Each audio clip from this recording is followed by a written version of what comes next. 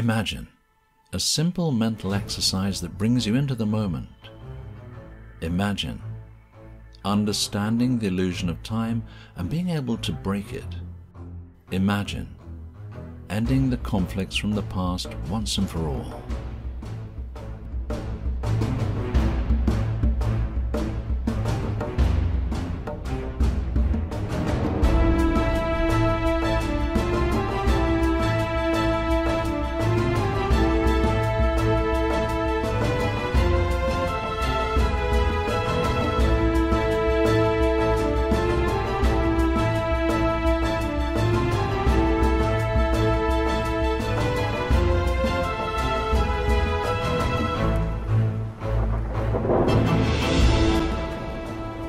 DIY Salvation. Don't just use your mind, resolve it.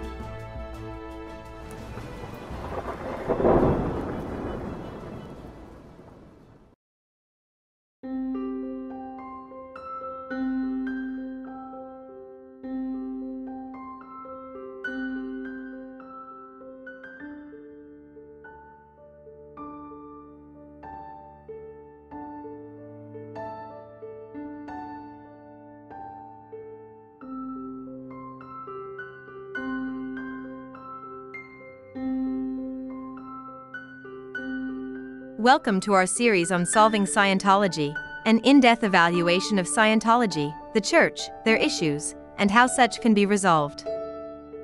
I'm Allison Tandry, host and co founder of DIY Salvation, former church member, auditor, and course supervisor. If you want to know why I left, another video on this channel explains such. If you are a Scientologist, understand I was once like you. I paid the money.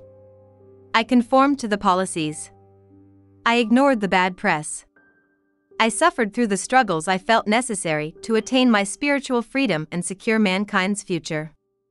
I know nearly everything that you know, and felt everything you feel now.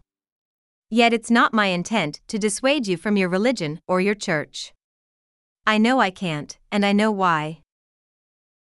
Scientology has the potential to benefit everyone, but if it has any chance of projecting into the future, much less freeing all mankind as they claim they want to, a few things will need to change.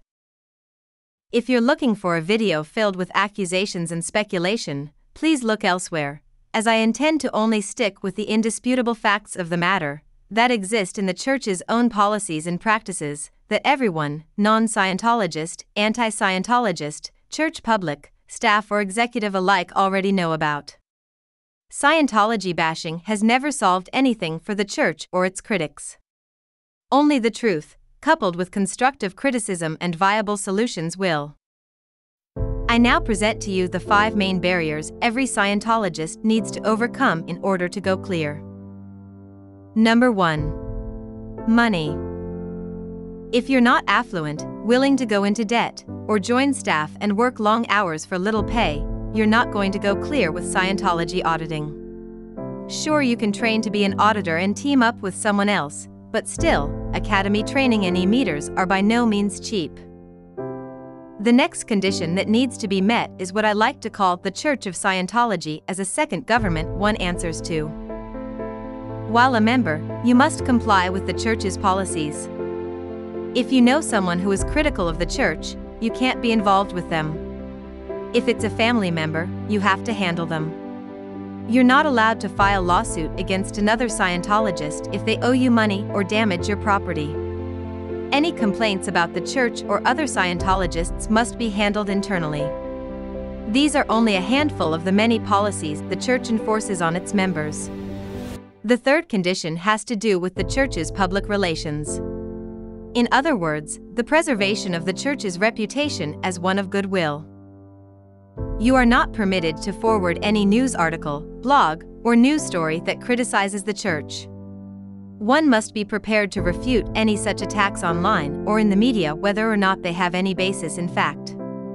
The church would rather you not even read or view any such stories online or via the media, and I do know of some cases where members have been explicitly instructed not to read certain books or watch certain news stories that criticize the church.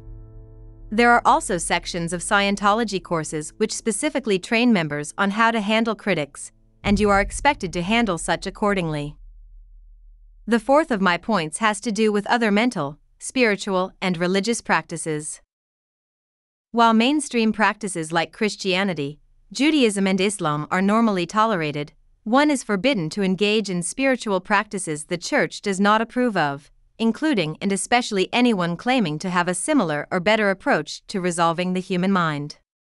They are particularly intolerant of any spiritual practices developed by former members.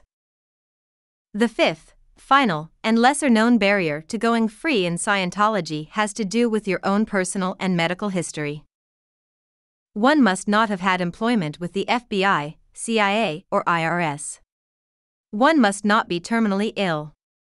One must not have a psychiatric history that includes institutionalization and or medications if they hope to receive auditing. So never mind whether or not you are interested in taking this route. Never mind whether or not you believe L. Ron Hubbard holds the key to solving all of mankind's problems. You can believe he's the next coming of Christ or Buddha, and if even one of these five points is not in place, the church will at best limit what kinds of services you can receive and in extreme cases, may just shun you and instruct all of their members not to have anything to do with you. It's unfortunate, because even though I am no longer a church member, I still firmly believe that the Scientology technology is a valid answer to resolving man's mental and spiritual condition. Unfortunately, the majority of us will not be able to push through all five of these barriers, much less maintain this way of life long enough to go clear. Scientology in its current state can only possibly benefit the affluent, the tolerant, the forgiving, and the exceptional.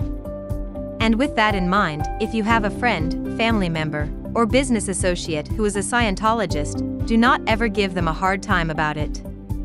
Don't even think of showing them this video. Chances are, their intentions are good, and you need not make life any more difficult for them than it already is. I know, I've been there, done that, and I would not wish the criticism I got for being a Scientologist on anyone else. It's the church and their policies that pose a problem, not the members themselves. Always remember that. Thanks for your time. In future installments, I will go further in depth about the Scientology technology itself, the practices of the church, how Scientology can and has benefited many people, yet still works against themselves and how these issues can be resolved for the church, non members, and ex members alike. I'm Allison Tandry of DIY Salvation. Don't just use your mind, resolve it.